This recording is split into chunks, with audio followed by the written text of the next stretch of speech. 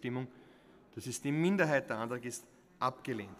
Wir gelangen nun zum 36. Punkt der Tagesordnung.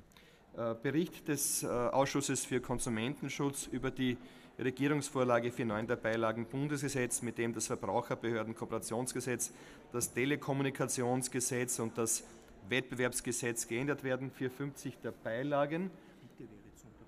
Und bevor wir, bevor wir fortsetzen, meine Damen und Herren, äh, habe ich die Sitzung zu unterbrechen für eine Stehpräsidiale. Ich unterbreche die Sitzung.